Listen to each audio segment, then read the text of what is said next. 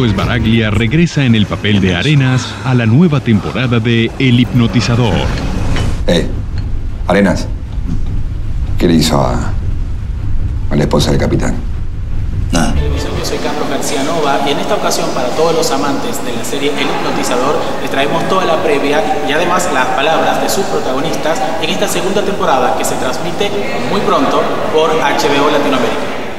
Fueron reales las serpientes. Sí. eh, bueno, ¿cómo te llevaste? Porque en algún, Yo le algunos tenía momentos- mucho miedo a las serpientes y a las arañas. Las arañas me tocan en la tercera temporada.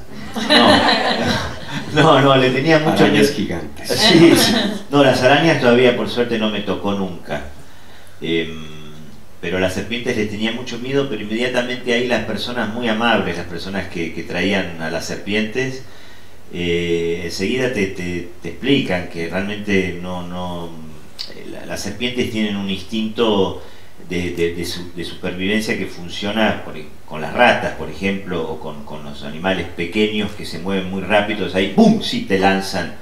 Digo, no, pero quiero decir, no son animales obviamente muy inteligentes y se dan cuenta que, que no hay. Y además ninguna de las serpientes que había, que había ahí eran serpientes ni que tenían venen, venenosas ni en absoluto. Si eran muy vistosas, o sea, habían, elegían ¿no? como eh, serpientes tremendamente bellas eh, y al mismo tiempo para nada peligrosas. O sea, enseguida te empezás a acostumbrar eh, a, que, a que po- podés convivir perfectamente con, con ellas. De hecho, Machín y Hendler, que no habían estado en la... Yo tengo unos videos de Machín que no tienen pie, ya se los voy a pasar en algún momento.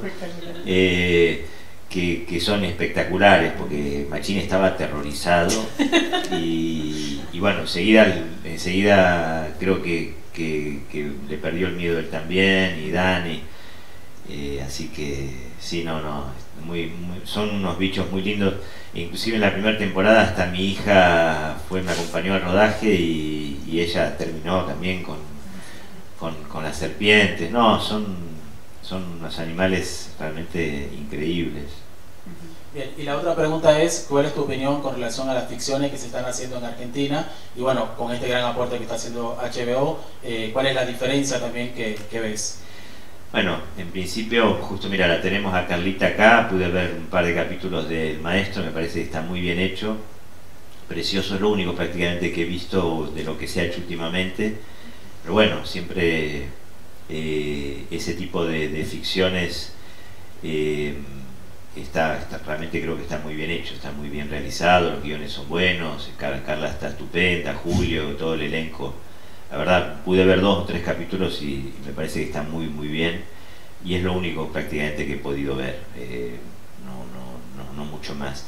En relación a lo que es la producción, bueno, la mayor diferencia es que es el nivel de inversión que se hace, el nivel de mercado para el, para el cual se trabaja, ¿no? O sea, una serie como el hipnotizador, bueno, hay- puede alcanzar un, un mercado muy grande eh, de toda Latinoamérica, eventualmente también de cierta parte de Estados Unidos, y, eso hace que tenga más posibilidades de, de- de producción, o sea, que tenga más dinero, que tenga más dinero para construir los guiones, más dinero para la producción y, y- y para postproducción, para todo, para su propia venta. Eh, esa es la mayor diferencia, ¿no? Eh, yo creo que, que- ahí es donde vos notás quizás la, la diferencia, o sea, cuando uno puede invertir y apostar algo y, y poner más dinero en eso, bueno, obviamente siempre va a ser más elaborado. Eh, y además, otra, otra característica creo que tienen este tipo de series es que no están tan determinadas por el minuto a minuto, que eso es bastante duro también, bastante bravo.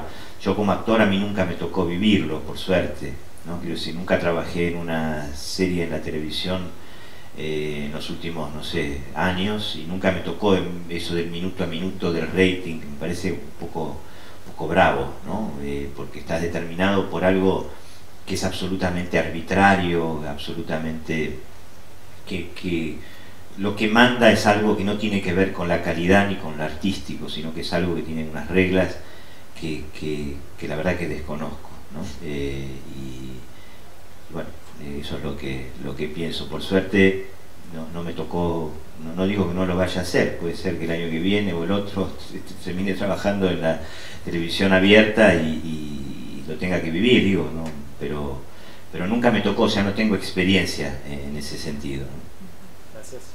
Cierto, no sé si mucho. En esta segunda temporada, al no estar hipnotizado, al no estar, que digo, Arenas puede dormir ahora, entonces está un poquito más, más despierta, está como un poquito más joven, pero, pero bueno, sigue siendo el mismo personaje, no es eh, exactamente un cascabel, ¿no? Eh, pero, pero bueno, eh, bueno, muy en, relación a los trabajos y bueno, por suerte de todos los trabajos que he ido haciendo últimamente estoy muy contento.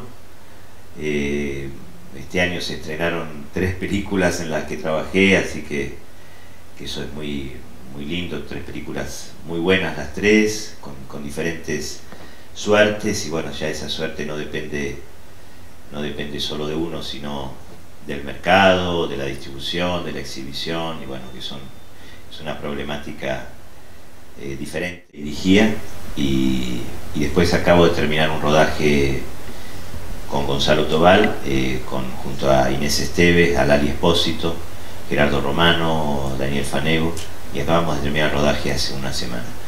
Así que, bueno, muy bien.